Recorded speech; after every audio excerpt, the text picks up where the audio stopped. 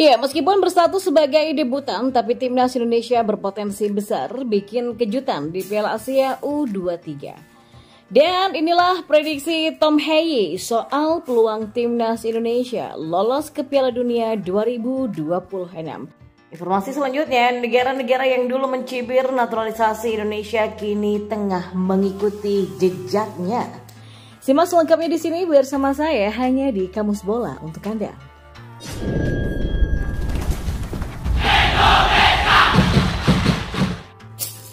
Ya, dalam rentang dua pekan mendatang, Timnas Indonesia U23 akan mengarungi kerasnya pertarungan di gelaran Piala Asia U23.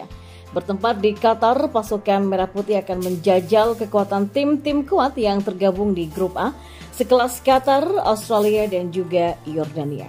Belansir dari laman suara.com pada Rabu 3 April, gelaran Piala Asia U23 kali ini merupakan momen debut bagi pasukan Garuda. Setelah lima penyelenggaraan sebelumnya selalu gagal lolos, timnas U23 yang dipoles oleh Sinteyong akhirnya berhasil melaju ke putaran final dan membuat mereka akan memainkan penampilan perdana di turnamen bergengsi level benua ini. Meskipun berstatus sebagai tim debutan, namun timnas Indonesia tetap punya potensi untuk membuat sebuah kejutan besar di turnamen. Ya, kalau kita melihat laman AFC, pasukan Merah Putih akan tergabung di grup yang cukup berat karena akan bertarung melawan Qatar yang berstatus sebagai tuan rumah serta Australia dan Yordania yang selama ini menjadi langganan putaran final turnamen. Namun dengan persiapan yang sudah dijalani dan komposisi pemain yang dibawa oleh Sinteyong, maka peluang untuk mengundang decak kagum para penggemar sepak bola di benua Asia ini terbuka sangatlah lebar. Ya bukan sebuah hal yang muluk-muluk memang karena belakangan ini timnas Indonesia tengah berada di fase kebangkitan. Ya, para pemain yang dibawa oleh Coach Shin ke turnamen kali ini pun bukanlah pemain kemarin sore.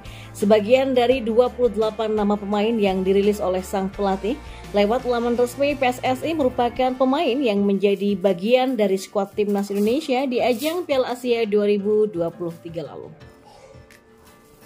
Itu artinya para pemain timnas Indonesia U23 setidaknya sudah memiliki modal pengalaman untuk bertarung di event Piala Asia U23 ini. Patut juga untuk digarisbawahi para pemain yang kini dibawa oleh Coach Shin Taeyong ke timnas Indonesia U23. Mereka mampu mencatatkan rekor manis dengan kali pertama membawa sejarah melaju ke babak 16 besar gelaran Piala Asia. Dan jika di ajang yang lebih besar saja mereka bisa membuat sebuah kejutan sebesar itu, maka tentu kalau dipikirkan secara logis mereka juga bisa membuat kejutan di ajang kelompok umur kali ini. Malah kalau kita mau berpikir secara logis jika di ajang yang lebih besar saja para penggawa Garuda U23 sukses menciptakan sejarah, maka seharusnya di ajang yang satu level di bawahnya mereka bisa membuat sejarah yang jauh lebih manis, bukan? Dan kita beralih ke informasi bola yang lainnya. Ya, pemain timnas Indonesia Tom Haye memprediksikan kesempatan Indonesia untuk lolos ke putaran final Piala Dunia 2026. Ya, sebentar lagi skuad Garuda bakal menuju putaran ketiga kualifikasi Piala Dunia 2026 zona Asia. Saat ini timnas Indonesia sedang berada di peringkat kedua grup F yang dihuni oleh Irak di peringkat pertama. Sementara Vietnam duduk di tempat ketiga dan Filipina di peringkat keempat. Ya, jika skuad Garuda berhasil mempertahankan posisi di dua laga tersisa, maka Indonesia bakal melanjutkan kualifikasi Piala Dunia 2026 zona Asia ke babak ketiga. Timnas Indonesia memang bakal bertemu dengan Irak dan Filipina di dua laga tersebut. Stadion utama Gelora Bung Karno bakal menjadi tempat timnas Indonesia untuk menghadapi Irak pada 6 Juni dan Filipina pada 11 Juni mendatang. Ya, kalau skuad Garuda ingin lolos ke Piala Dunia 2026, maka timnas Indonesia harus menjadi juara grup di putaran ketiga atau menjadi runner-up. Oleh sebab itulah Tom Haye melihat timnas Indonesia masih punya peluang besar untuk masuk ajang Piala Dunia 2026. Dan menurut Tom, untuk lolos ke Piala Dunia, kita harus memenangkan laga melawan tim kecil. Namun, Tom mengakui melawan tim kecil bakalah sulit karena terkadang faktor penonton bisa membuat tim tamu menjadi kena mental. Tom mencontohkan Stadion Tamu Gelora Bung Karno yang menurutnya tidak ramah untuk tamu yang dijamu oleh timnas Indonesia. Uh, tidak menyenangkan ya bagi siapa pun untuk bermain sepak bola di Jakarta dan itu akan sangat sulit bagi beberapa negara, kata Tom Haye.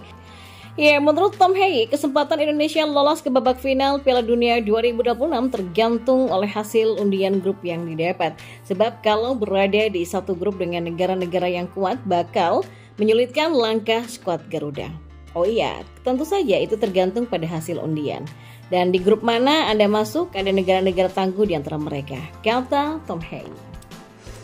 Dan kita beralih ke informasi selanjutnya. Sebelumnya Vietnam dan Thailand pernah mengkritik langkah Indonesia dalam merekrut pemain naturalisasi untuk memperkuat timnas sepak bolanya.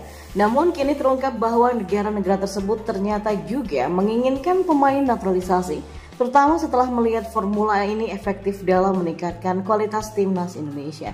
Ironisnya, Vietnam dan Thailand terbentur aturan hukum nasionalnya yang tidak memungkinkan mereka untuk secara bebas mewujudkan program naturalisasi. Ya, kasus Azuki Iwatani, karateka putri yang besar dan lahir di Thailand namun ditolak menjadi warga negara Thailand karena orang tuanya berkeluarga negaraan Jepang menjadi contoh kerumitan aturan naturalisasi di negara tersebut. Ya, keinginan Vietnam dan Thailand untuk melakukan naturalisasi pemain semakin meningkat karena mereka merasa terintimidasi oleh peningkatan kualitas timnas sepak bola Indonesia.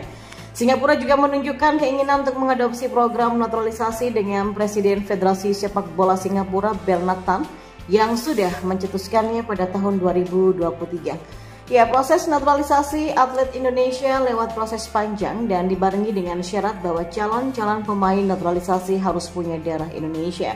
Langkah naturalisasi Indonesia berbeda dengan negara lain seperti China yang menaturalisasi pemain tanpa ikatan darah dan Kamboja yang menggunakan atlet naturalisasi di banyak cabang olahraga secara sporadis. Naturalisasi yang dilakukan Indonesia tidak sporadis, melainkan terencana dan mempertimbangkan identitas keindonesiaan. Naturalisasi tersebut efektif dalam meningkatkan kualitas timnas Indonesia, seperti yang terlihat dalam kualifikasi Piala Dunia 2026 dan Piala Asia 2023. Ya, tantangan bagi Indonesia adalah untuk terus melakukan naturalisasi secara selektif dan mempertimbangkan kebutuhan tim nasional di masa depan nantinya.